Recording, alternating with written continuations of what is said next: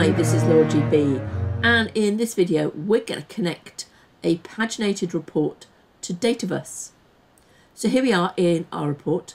Our first task is to add a data source. So right click on data source and click add data source. And we're going to do, we've got a little table in Dataverse on expenses. So that's what we're going to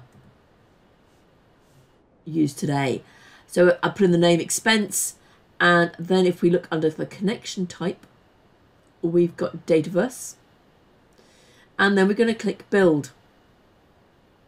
And this asks us for a server name. To get that server name, we head over to Power Apps. And in here, there is a data section and there is tables. So we can go and have a look at our tables. Now the table we're going to use today is going to be expenses. Um, now we could use to actually do this trick on any table. It doesn't matter. And then we're going to click over to data once it loads. And there we are. We've got some data. And I'm going to click add record.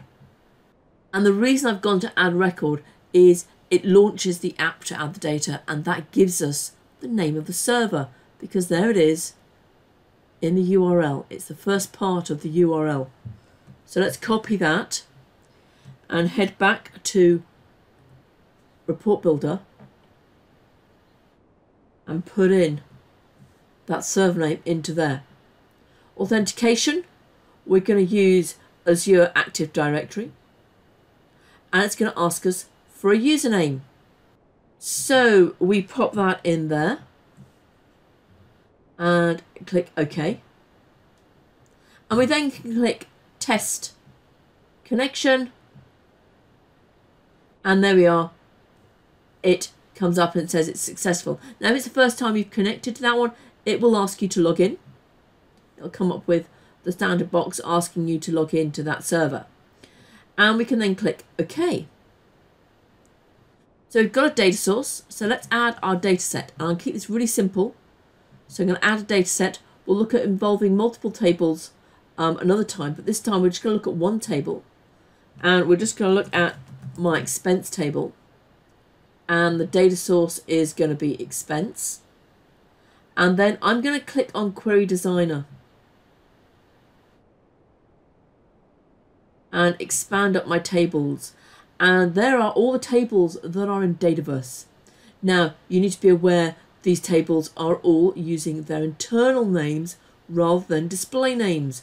So all of my tables have been have been built inside um, all of my tables have been built inside a solution. So therefore they all start with the publisher prefix. So there is my expense table and if I expand that out, sure enough we've got all the columns you expect inside there and all of my all of my columns start with LGB. So there I'm going to bring in the name. We just tick the box and I'm going to bring in the amount. That's all I'm going to bring in for this simple report. And then we're going to click OK. Before we click OK, let's have just have a quick look. They are it's written SQL. So that's what's going to, so as when we, when we expand up this, make it more complicated, we're going to get more complicated SQL. And actually, you might find it easier if you brush up your SQL or bribe your DBA um, to come and write some SQL for you. So then we click OK.